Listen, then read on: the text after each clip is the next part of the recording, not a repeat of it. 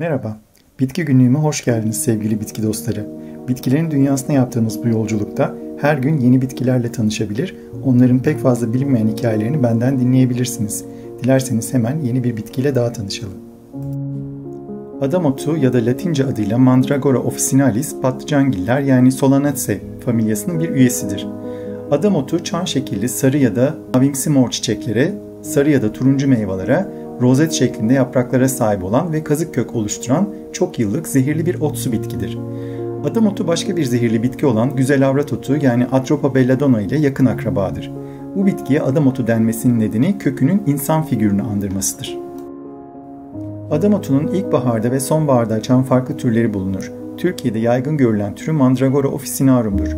Kökünde bulunan zehir halüsinojen etki yaratabilir Kökünden ağrı kesici, yatıştırıcı, afrodizyak gibi pek çok farklı nitelikte ilaç üretilir. Adam otu ile ilgili sayısız efsane ve söylenti vardır. Örneğin eskiden adam otunu topraktan sökerken insanı öldürebilecek bir çığlık attığına inanılırmış. Hatta bu inanç nedeniyle onu topraktan sökmek için hayvanları kullanmışlar. Bir başka inanışa göre adam otu sadece dar ağacının gölgesinin düştüğü yerlerde yetişirmiş. Dar ağacında infaz edilenlerin nefesi ve kanlarıyla hayat bulurmuş. Cadıların üzerlerinde taşımak için güçlü tılsımlar yaparken de kullandıkları adam otuyla ilgili 1870'lerden kalma bir de tılsım tarifi buldum.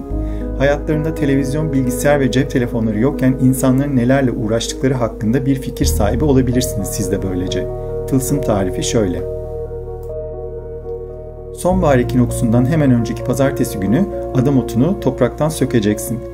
Kökün dip kısımlarını kestikten sonra bir gece kilise mezarlığında yeni ölmüş bir adamın mezarına gömeceksin. 30 gün boyunca kökü içinde 3 yarasanın boğulduğu inek sütüyle sulayacaksın. 31. günde gece yarısı kökü mezardan çıkarıp yer minesi dallarıyla ısıttığın fırında kurutacaksın.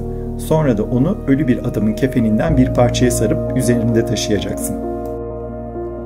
Yunan mitolojisinde bazen güneş tanrısı Helios ile okyanus perisi Perse'nin kızı, bazen de büyücülüğün tanrıçası Hekate ile Kolhis kralı Aetes'in kızı olarak anlatılan cadı Kirke'nin yaptığı aşk büyülerinde adım otunu kullandığı anlatılır.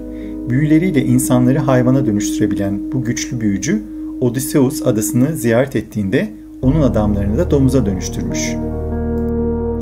Fransa'da çok eski bir inanışa göre adam otu bir tür orman cinidir. Bu cinle karşılaşan kişi onu beslemekten de sorumlu olurmuş.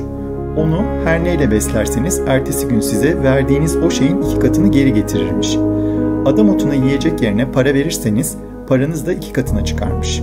Adam otunu bulanlar bu şekilde zengin olabilirmiş. Fakat herhangi bir sebeple onu beslemeyi unutursanız işte o hayatınızın son günü olurmuş. İzlediğiniz için teşekkürler. Bitki günlüğümün daha fazla bitki severe ulaşabilmesi için abone olmayı ve beğendiğiniz videoları sevdiklerinizle paylaşmayı lütfen unutmayın. Bol çiçekli günler dilerim.